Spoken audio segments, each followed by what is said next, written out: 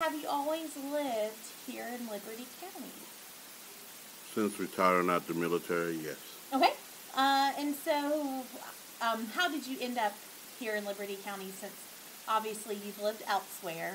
Wasn't Military military? retired, yes. Uh-huh. Uh, which is pretty typical around here Yeah. with having a large military installation. That's pretty common for us. Mhm. And uh, just to tell you a little bit more about me, I was a civilian that worked for the Air Force, which was how I got Oh, to wow. Liberty County because I wanted to work with military kids like Mhm. I did prior to this job. So Oh. uh, while I never served, Uh-huh. it's kind of my connection. to Oh, okay. yeah, so um, I feel like a lot of people, a lot of people get here because of the military. Right. Pretty typical, and uh, I've lived here for seven years, um, Hmm. and I live in a you know single structure home, three bedrooms, two baths, pretty Mhm. typical out in Midway. And uh, could you tell me a little bit more about your home and what's it like? Well, I retired in 96, and once I found the home, it just made it easier, the location of the home. Mm-hmm. I finally got hired with Comcast, so that gave me a wide range of areas to be able to investigate and go into. I primarily worked in Midway, so when you say you lived in Midway, that's Mm-hmm. We got the connection there, that's, right? Yep. where I was at. Um, originally born in Baltimore. Going back up north was really wasn't something I wanted to do. Because down here in the south, people seem to be more friendlier, you know. So that was the main thing that made me decide to stay to stay south. Uh, Well, that's a good reason to stay Yeah. south, right? I don't blame you at all. Um, and then with your home, do you have rooftop solar? No. Um, and so, because you don't have rooftop solar, can you share with me a little bit about why you don't? Did you make that decision, or did somebody make it for you? Uh, it didn't have it when I moved Right. in, so it never came across to my mind to even pursue it. Understandable, and um, that definitely makes sense there.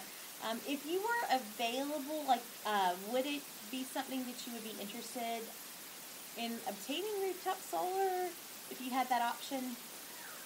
I'm not really fully educated on the benefits of having solar. Right.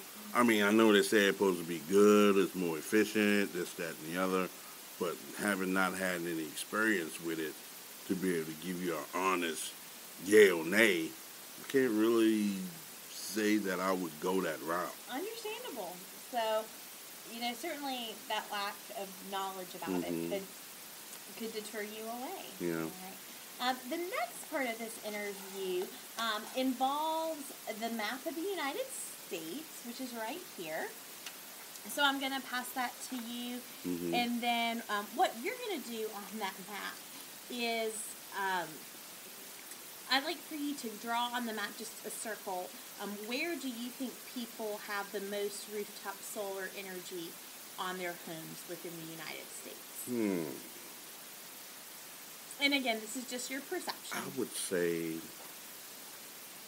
I would say probably, uh-oh, there. All right. Um, and obviously, you did not choose our community based on where you circled it on the map. And so, because of that, why do you think people in the area that you indicated, why do you think they um, have that rooftop solar? What makes that community different from our community? It's hot out there. Yeah. I was stationed in Arizona. I got introduced to what was called swamp coolers, which was a form of air conditioning and some type of wood mesh panel to where water would be run through it, and then you had a fan that would blow through that, which would be your cooling of how your house was cooled. really? Yeah, and they called them swamp coolers. They were huge, you know. So being out there in Arizona, I would think, yeah, you would run more electricity, so that would probably be a very good place to have solar energy. As far as what I've already heard, that you're supposed to be able to save from solar energy, and who has money to throw away? You know, so that's why I picked that. Picked that And then um, the next part, we're going to actually just talk about the state of Georgia. So um, there is a map there with all of our 159 counties, and some of the major cities are identified.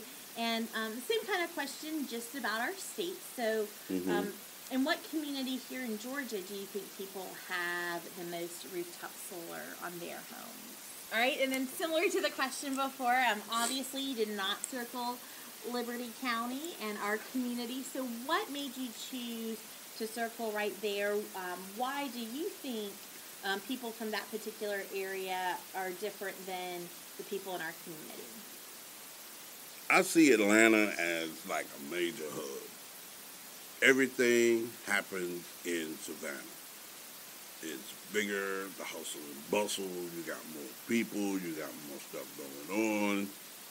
And if anybody gonna wanna say, I would think People there. people there would be yeah.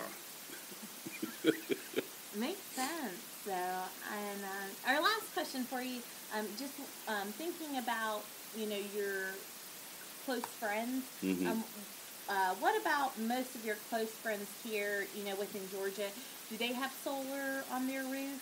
Not to my knowledge they don't. And why do you think they don't? One might be because lack of knowledge. Mhm.